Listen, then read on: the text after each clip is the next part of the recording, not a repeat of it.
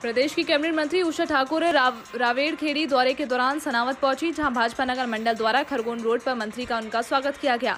मंत्री उषा ठाकुर ने बताया कि सभी लोगों को राम मंदिर निर्माण की हार्दिक शुभकामनाएँ साथ ही मंत्रालय का उद्देश्य आम लोगों को संस्कृति और अध्यात्म से जोड़ना है। ये विभाग जन जन का बंद है इसके लिए मैं प्रयास कर रही हूँ। इस दौरान पूर्व प्रदेश मंत्री ज्योति एवतिकर भाजपा मंडल अध्यक्ष श्याम पुरोहित संजय राठौर विष्णु ठेकेदार श्याम महेश्वरी विजय जैन मुख्य रूप से मौजूद थे। संस्कृति अध्यात्म ये जनता का विभाग बने। जन जन तक संस्कृति संस्कार और धर्म पहुँचे इस बात के लिए संगठन प्रयासरत है। दीदी आप महू से आज बाजीराव पेशवा की समाधि स्थल पर जा रहे हैं। कहीं ना कहीं जो इंदौर इच्छापुर हाईवे है इसकी दुर्दशा भी आपने देखी होगी। सदन में किस तरीके से इसके सुरक्षा की मांग करेगी? बनने के कगार पर है। इसकी काफ़ी सारी अनुमतियाँ हो चुकी हैं।